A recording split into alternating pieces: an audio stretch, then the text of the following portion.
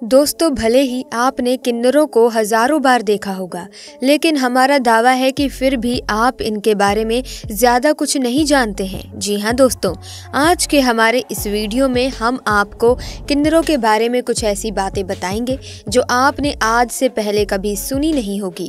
ये बातें आपको हैरान तो करेंगी, साथ ही आपको किन्नरों के बारे में सोचने पर मजबूर कर देंगी। तो दोस्तों, आप लोगों ने इस दुनिया में कई खूबसूरत लड़की लड़कियों को देखा होगा। फिल्मी अभिनेत्री से लेकर मिस वर्ल्ड का ताज अपने सर पर सजाने वाली खूबसूरत लड़कियों की कोई कमी नहीं है। लेकिन क्या जानते हैं कि दुनिया में एक ऐसी किन्नर रहती है जिसके सामने बड़ी बड़ी फिल्मी हीरोइंस भी पानी कम चाय लगती हैं। इन्हें एक नज़र देखने के बाद अच्छे अच्छों के दिल फिसल जाते हैं। और ये किन्नर कहीं और की नहीं, बल्कि हमारे पड़ोसी मुल्क पाकिस्तान से ताल्लुक़ रखती हैं। उनका नाम तलाश जान है और उनकी खूबसूरती अक्सर लोगों को हैरान कर देती है। कोई ये मानने को तैयार ही नहीं होता कि कोई किन्नर इतना हसीन कैसे हो सकता है। दोस्तों, आज से 30 साल पहले पाकिस्तान के फैसलाबाद में एक लड़के का जन्म होता है। जन्म के वक्त किसी को भी नहीं मालूम था कि इस लड़के का भविष्य एक ऐसे मोड़ पर चला जाएगा कि घर वाले खुशियाँ मना रहे थे। दोस्तों, उनके घर लड़का पैदा हुआ, पर कुछ ही समय में उनकी सारी खुशियाँ तहस नहस हो गई जब उन्हें ये पता चला कि वो बच्चा ना लड़का है और ना ही लड़की, बल्कि किन्नर है। अब ज़ाहिर सी बात है कि हर माँ बाप चाहते हैं कि उसे या तो लड़का हो या फिर लड़की, लेकिन एक किन्नर को कोई भी जन्म नहीं देना चाहता और इसीलिए हर कोई इस तरह की बातों को स्वीकार करने से भी इनकार कर देता है। ठीक ऐसे ही तलाश जान के साथ भी हुआ। शुरुआत में तलाश जान के परिवार वाले इन्हें स्वीकार करने से इनकार कर रहे थे, पर बाद में उनके माता पिता ने इन्हें स्वीकार कर लिया, क्योंकि माँ बाप चाहे जैसे भी हों, अपने बच्चों को वो कभी खुद से अलग नहीं कर सकते। इसीलिए तलाश जान के माता पिता ने भी उनके किन्नर होने की बात दुनिया वालों से छुपा कर रखी, ताकि कोई भी तलाश को उनसे अलग ना कर सके। वरना अगर किसी को ये पता चल जाता कि तलाश जान किन्नर है तो उन्हें किन्नर समुदाय के लोग अपने साथ ले जाने के लिए चले आते। पर दोस्तों, वो कहते हैं ना कि झूठ चाहे जितना भी ताकतवर क्यों ना हो? उसे एक ना एक दिन सामने आना ही होता है। ठीक ऐसा ही तलाश जान की ज़िंदगी के साथ भी हुआ, क्योंकि जैसे ही इनकी उम्र बढ़ती चली गई, उनके हाव भाव और आवाज़ में आने वाले बदलाव से लोगों को शक होने लगा। कुछ ना कुछ तो गड़बड़ ज़रूर है। पहले तो लोग नहीं समझ पा रहे थे, लेकिन बाद में उन्हें ये एहसास हो गया कि ये एक किन्नर है। ऊपर से उनके घर की आर्थिक स्थिति भी बहुत ज़्यादा खराब थी। इसके कारण तलाश को बहुत छोटी सी उम्र में ही घर के बाहर जाकर काम करना पड़ता था, ताकि ये अपने घर वालों को आर्थिक रूप से मदद कर सके।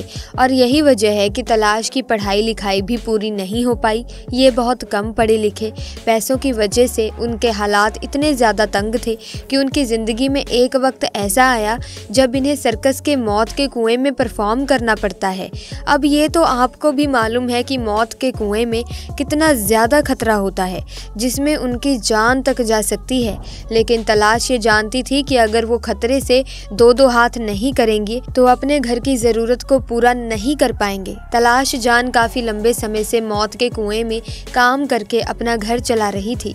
तभी इनके साथ कुछ ऐसा होता है जो उनकी पूरी ज़िंदगी बदल कर रख देता है। असल में तलाश जान को उनके सभी दोस्त बहुत ज़्यादा पसंद करते थे, पर चाहे वो महिला हो या पुरुष, क्योंकि तलाश जान का ना केवल स्वभाव बहुत अच्छा था, बल्कि ये दिखने में भी बहुत सुंदर थी। इसी वजह से जब उनकी एक दोस्त ने फेसबुक पर उनकी तस्वीर अपलोड करी तो मुल्तान के न्यूरो सर्जन की नज़र इन पर पड़ी। उन्हें भी ये बहुत ही ज़्यादा खूबसूरत लगी और उन्होंने अपने पेज पर उनकी तस्वीर डाल दी।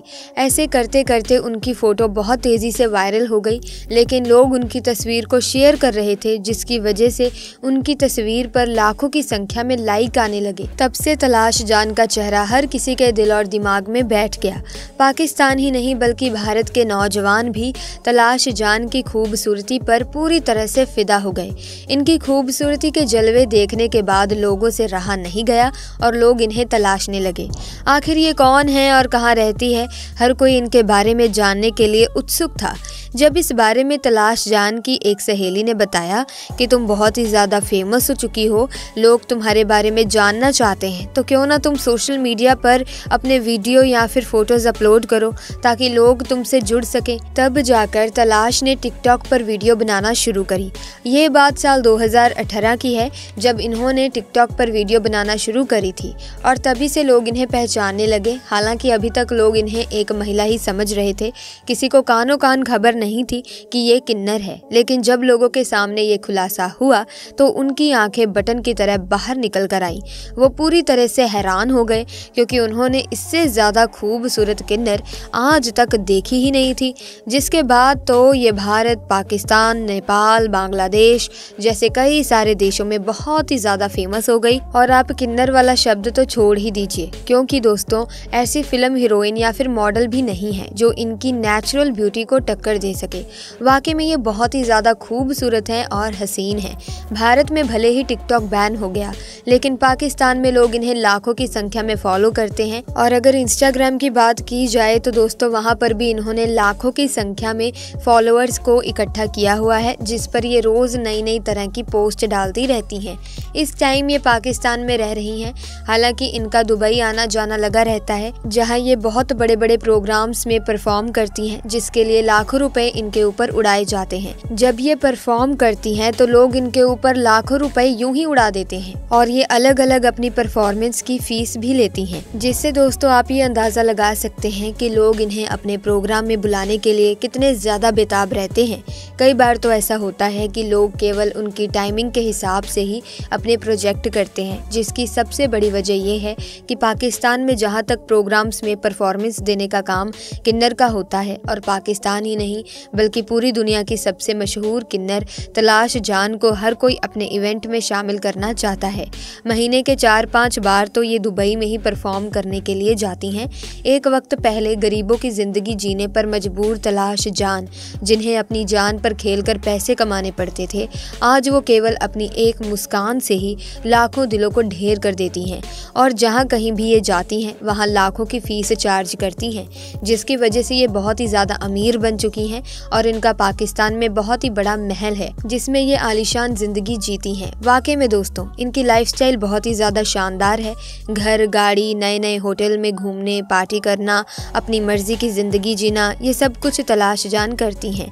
तलाश जान का कहना है कि खुदा ने उन्हें जो ज़िंदगी दी है, उसे वो बहुत ही ज़्यादा खुश हैं, क्योंकि वो हर एक चीज़ कर सकती हैं, जो वो करना चाहती हैं।